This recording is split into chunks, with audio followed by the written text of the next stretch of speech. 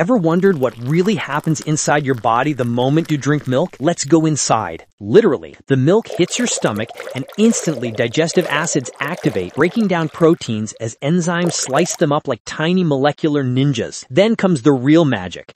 Your intestines pull nutrients from the milk, calcium, protein, and vitamins glowing like microscopic fireflies as they enter your bloodstream. These nutrients race through your organs, powering muscles, strengthening bones, and boosting your entire system like a natural internal battery charge. Your brain fires faster with sharper focus, your muscles absorb amino acids to repair and build, and your gut microbiome lights up with beneficial bacteria. For many people, milk even delivers a clean burst of energy, but not everyone celebrates. Some experience stomach irritation, others develop allergic reactions, some see a spike in blood sugar, and a few even feel tired after drinking it. So in the end, milk can be a hero or a villain depending on your body. What food should we scan next?